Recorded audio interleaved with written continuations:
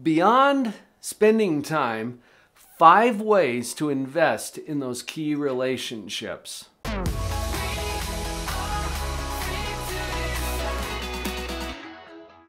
This video is a specific response to one of you subscribers here at Live on Purpose TV. You asked for some specifics, so here are five that you can use immediately. Nikki, you asked this specifically. I've seen a couple of your seven key relationships videos. And by the way, there's an entire playlist here about the seven key relationships because what we're all about at Live on Purpose is saving and enriching your seven key relationships using principles of positive psychology. So, Nikki, that's what you're referring to. And they are great for explaining what relationships are important and in what order of priority. But I'm still left wondering what kinds of things I can do to show investment in them besides just spending time with them. Love your question, Nikki, and thank you for driving down to some specifics. Let's cover five things that you can do. Number one, conscious awareness. Many of our key relationships we end up taking for granted. We don't even think about them unless they're troubled or there's something going on that we need to pay attention to. Conscious awareness has to do with calling your mind specifically to that key relationship. So let's pick one, for example. How about your relationship with extended family? This is key relationship number five extended family. Sometimes we don't even think about extended family unless we've got a family reunion coming up or we're going to a funeral. And there's even jokes about that. You know, I can't make it to the family reunion, see you at the next funeral. We don't even think about it between. Spend some time actually thinking about that relationship. You don't even have to do anything else other than call it to conscious awareness. You might write down the name of someone who's important to you in your extended family and put it in your pocket so that every time you reach into your pocket, you feel that little slip of paper and you know whose name is on it. I remember one of my colleagues was running a marathon and she decided to put the name of one of her key relationships, one of the people in her key relationships, on each mile so that she would think about, as she's running the first mile, she's thinking about her daughter. And as she's running the second mile, she's thinking about her father and so on. This is just an example of calling it to your conscious awareness. You don't even have to talk to that person or reach out to them. Bring it to mind and see what your mind does with that. So, Nikki, number two is to give. Shift your focus from getting something out of that relationship to giving something in that relationship. I love an example that came up about a year and a half ago. I was on the elliptical and doing a little bit of a morning workout, and I glanced over by the treadmill where Vicky was doing her morning workout, and she had posted on the wall a saying. She had several of these printed out, and she was switching them out every few days just to call things to her awareness. And this one caught my attention. It said, and this was from Jody Moore, by the way, who is a phenomenal coach who I have personally worked with before. And this quote from Jody Moore said, my husband is not here to meet my needs. My husband is here so that I will have someone to love. Now you can see why I enjoyed this, seeing that in front of Vicky as she's working out on the treadmill. But this is the shift in focus that we're talking about. It's really tempting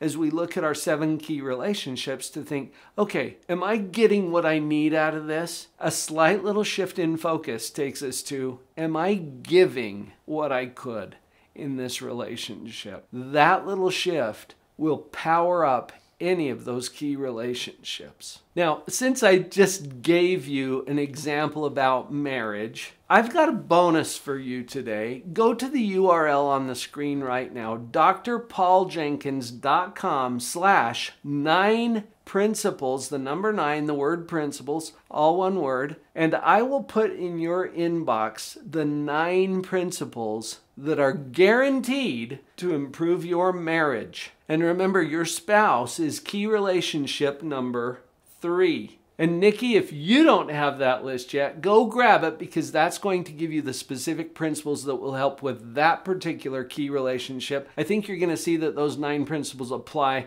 in a lot of the other relationships as well. Once again, drpauljenkins.com slash nine principles. You're welcome. Here's number three unexpected outreach. For no particular reason and with no requests or expectation of response, you simply reach out to that person. And if you're not sure what to say, use this My life is better because you're in it. What is that going to do in that key relationship? Think about someone that you haven't seen for a long time that's still really important to you, and you simply unexpectedly reach out to them for no particular reason with that kind of a message. Hey, just wanted you to know I was thinking about you, and my life is better because you're in it. Or, thank you for being who you are and making the difference that you make in our world. Something like that, totally out of the blue. Experiment with this and see what it does. Now, Nikki, you might not appreciate me for this one, but I'm going there anyway. Vulnerability. This is something that as humans we crave in our intimate relationships. We want people to be vulnerable with us, but it's the thing that we're the least likely to give. Practice vulnerability in your key relationships. This is where you admit to your faults and your weaknesses and your shortcomings. Sometimes we put on kind of a phony facade and we try to look all Pinterest perfect, but that's not reality. And it's hard to connect with someone who is phony. Being vulnerable will take your key relationships to the next level. And while that's not the total focus of this particular video, I love the work that Brene Brown has done about this. Go look up some of her videos here on YouTube or her book, Daring Greatly, will give you some ideas about this vulnerability and how you can incorporate that into your key relationships. It'll really power them up. For my last tip today, I'm going to Dr. Ann Demarais, who is the author of a book called First Impressions. And in this book, Dr. Demarais shared an idea called social gifts. And that's my final tip for you. Give social gifts. And the way Dr. Demarais described these, there's four. Connection is one. This is the way that we intersect, what we have in common. For you to acknowledge that something is the same about your interests and this person that you're trying to get closer to. That's connection. Oh, you like soccer?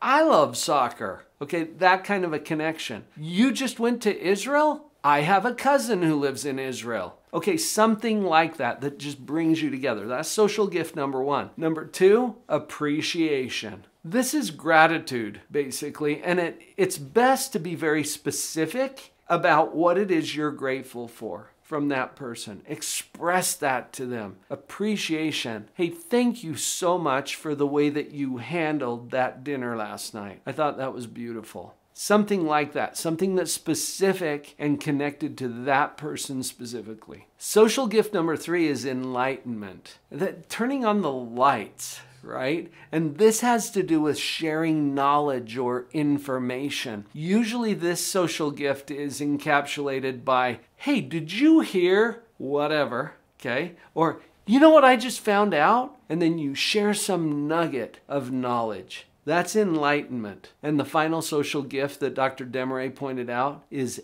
elevation. Now, what does an elevator do? It lifts people, right? That's what the social gift of elevation is. You're lifting them. The simplest way to do that is to give them a smile. Just a genuine, heartfelt smile that connects with them. Eye contact, humor. These are the things that elevate people's mood, and it is a gift to go elevate someone's mood.